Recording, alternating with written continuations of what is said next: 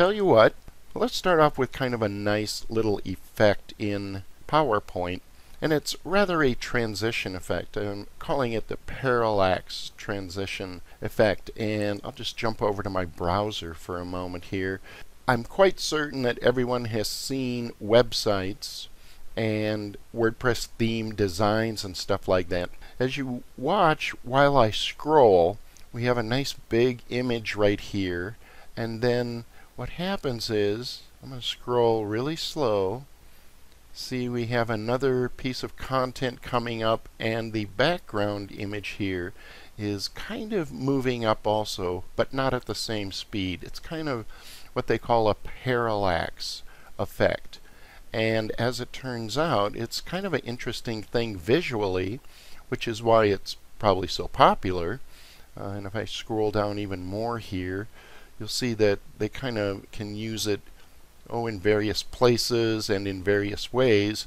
Here it's just kind of revealing an image and then again another piece of content kind of or section I guess kind of swoops up and takes over the focus. So that's kind of what I mean by a parallax effect. And we can actually duplicate this kind of sweetly in PowerPoint. So what I'm going to do here is I'll kind of show you the end result first. So here I have an image and I'm going to kick this into slideshow mode and hopefully you'll be able to see it well enough over the webinar. So if we click this, this is uh, my background image. I'm going to click again and a piece of text is going to come in.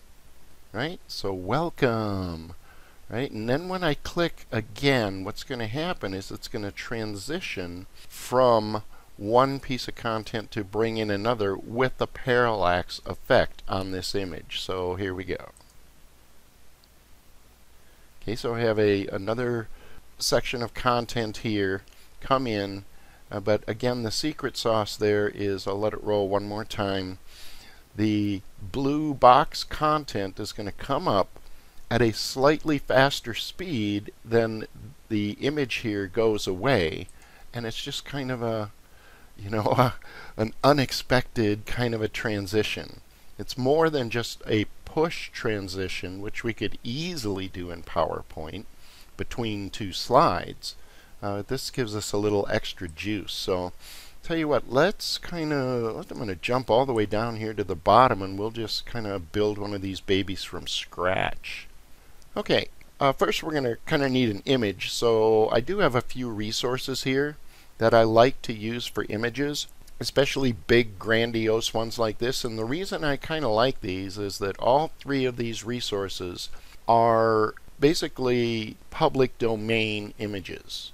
So one of the ones I kind of like is unsplash.com. Let's go to Unsplash and we'll get us a an image like I mentioned, these three sites that we use quite a bit are free to do whatever you want. And essentially, what that means is that they are submitted by the creators, the photographers, with Creative Commons Zero licenses, meaning that there are no restrictions on it. Right? So I'm not going to get too much into that. Basically, they're free do whatever you want with them, right? So you can find just like stunning images of all kinds, and all three of these sites have like search criteria and things like that. But uh, let's just pick one. I'm going to pick anyone. Let's just pick this guy. Okay, beautiful photo. So when I click on the image, now I can copy the image. And let's jump over to PowerPoint go down to a blank slide and I'm just going to paste it as a picture. One of the things you'll find with a lot of these, especially these public domain images, in fact I'm going to do this just to kind of make a point, they will be huge, like very high res. And so I'm going to hold my control key and zoom out and what you'll find is that a lot of times that they are about this big and your slide is about this big. The other thing, I'll give you a little tip here, is if I try to resize this, which is not a problem, so we can normally resize it, but Let's get in just a little closer. I have a 16 by 9 widescreen slide. A lot of these images are not in a 16 by 9 aspect ratio. Okay, so here's a little trick. Now, certainly I could just stretch this, you know, not that big a deal. but let's say that I wanted to, uh, I didn't want to stretch anything out. You can actually click on an image, go to Format, and crop it. And if you crop to this little dealy right here, to aspect ratio, I can crop it to a 16 by 9, which is our widescreen format, right? And so I can kind of select well, what part of it I want to crop. I'll just kind of keep it in the middle and then click the crop again. And now it is 16 by 9 and I when I resize it notice it's not going to stretch anything. I'm not going to you know do anything goofy like this. It's going to let me grab a corner handle and boom right? So everything just sticks. Okay so that's kind of the first step and a first tip with working with a lot of images uh, like these kinds of of things uh, from these sites. Nice images, but sometimes you gotta monkey with them a little bit to get them to fit properly into PowerPoint, right? The next thing I'm going to do is I'm going to insert a shape. And I'm just going to choose a rectangle shape. And I'm going to draw it out. Don't want an outline, so I'm going to make sure it doesn't have an outline. No outline. And then for the fill, think what I probably might do is click on the fill bucket and grab the eyedropper and maybe we pick something that's kind of down at the bottom here. So maybe like a nice beige. Let's make it the same size as the slide. And then what I'm going to do again, hold my control key, zoom out, so I have lots of room here. And I'm just going to slide this guy right underneath, boom, like that. Okay, so now we've got a, a couple of different elements going on. And to add some content here, something to kind of give contrast to the parallax, I'm also going to insert a text box. So let's put in some text. So let's change the color on that guy to something that's going to stand out and let's make it nice and big. Are you going? I'll also just use the snap lines here to kind of center it. And I don't know, uh, I might even change that font a little bolder. Let me zoom in here. If you change fonts, you'll notice that I kind of, depending upon the structure of the font, I kind of changed the positioning here. And yeah, I could kind of grab it and use my guidelines there again. But another trick you can do is if you click on the box there, and I go to Format, Align, I'm just going to align it to center. And that's pretty much going to put me right in the middle of the whole deal.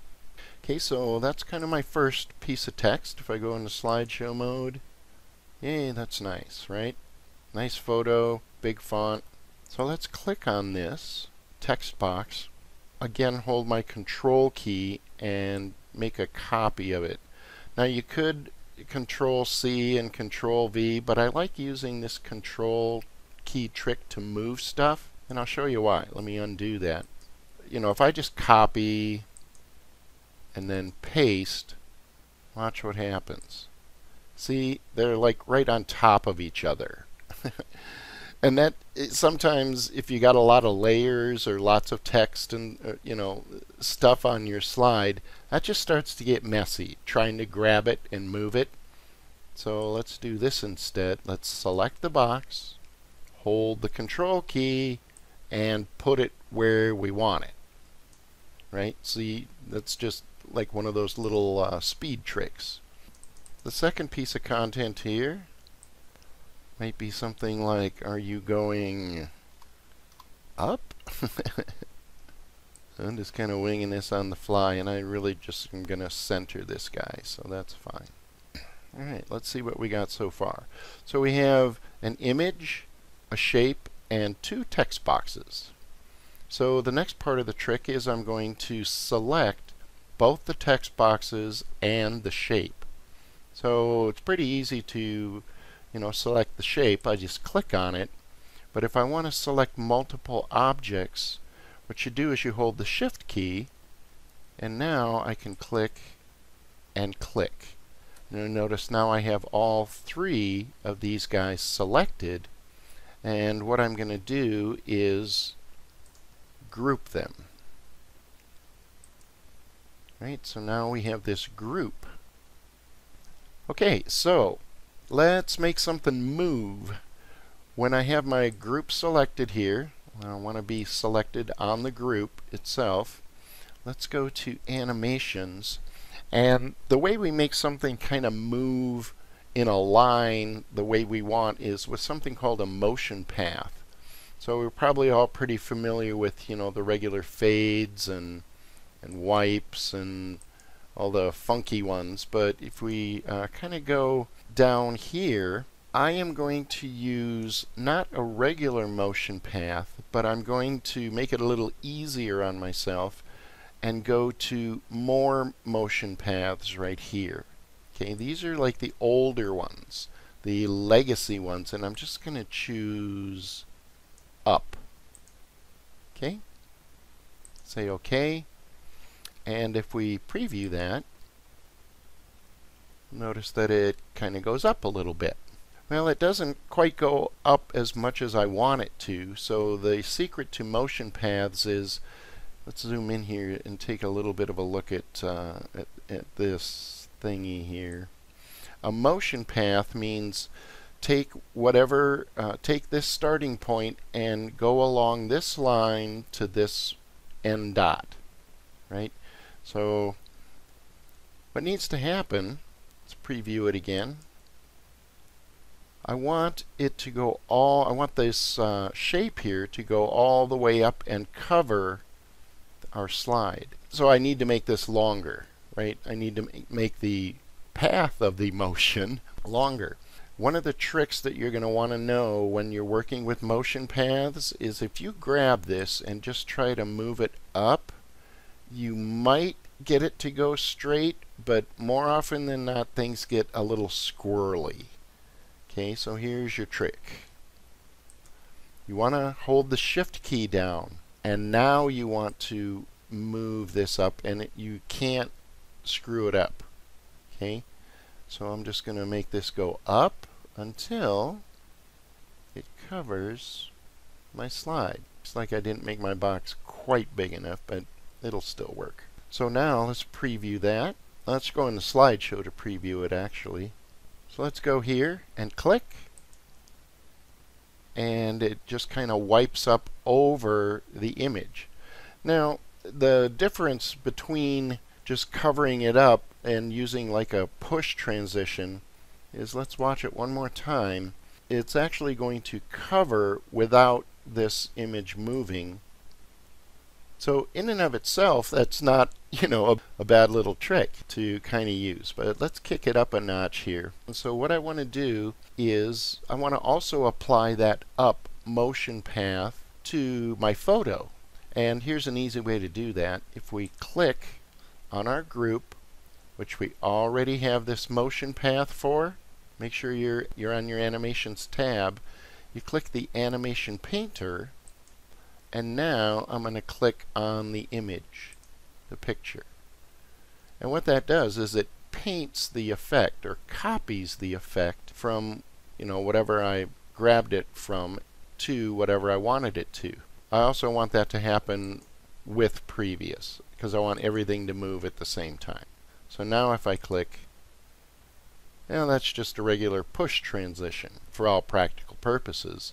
To make it the parallax kind of deal, I'm going to click on this guy and uh, let's do one other thing. it's kind of hard for me to tell which motion path is which. If you didn't know this, when you start adding stuff on slides, sometimes it's kind of hard to, to tell what's what. So here's how you fix that. I'm going to go to the Home tab and we're going to go to the Selection pane. The Selection pane shows me all of the stuff that's on a slide and you can turn things off. So I, I turned off that group that we created. And now if I click here and let's open our animation pane. See now I can tell which is my motion path here so to get the parallax effect I don't want these two to animate at the same speed. There we go. So I'm going to hold my shift key and just bring this guy down to about maybe halfway. See how it's only about halfway overlapped? And oop, I need to turn my other stuff back on. When you use the selection pane, don't forget to turn your other stuff back on. So now we should be good to go. And I don't know, let's preview it. So we'll do that and then click. And boom, there you go. Parallax effect. Now, one of the interesting things is you can kind of stack these up. So I could create another slide that kind of starts with this shape, right? And then maybe put the image underneath it. In other words, just kind of reverse the process. And now I can move from slide to slide with parallax effects on, you know, multiple slides. I'm not really going to get into that too much because that's probably enough for you to kind of digest there for a minute. But it's an interesting effect. By the way, I will go ahead and give you guys this slide. So you'll have all of this stuff. I showed you how to build it so you could understand how it worked and stuff, but in reality, and I think this should work, we should probably test it. If you have a slide like this, then you can use this slide in your presentations, kind of like a swipe slide. So let's see if this works. I haven't actually tested it yet.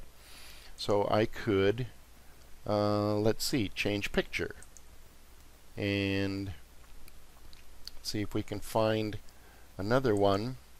Now, in reality, I probably would want one that is the proper size. Let's just go to a media library and see if we can, let's just pick one and insert it. So in this particular case, I'd have to, you know, do the, the cropping and stuff, but yep, it all still works. so I could, of course, now change this, just click on the group and then click on the shape, and we can change the color, you know, like we did before, maybe pick uh, something like that. And then of course you can change the text. Right? So and parallax. Parallax. It's parallactic so to speak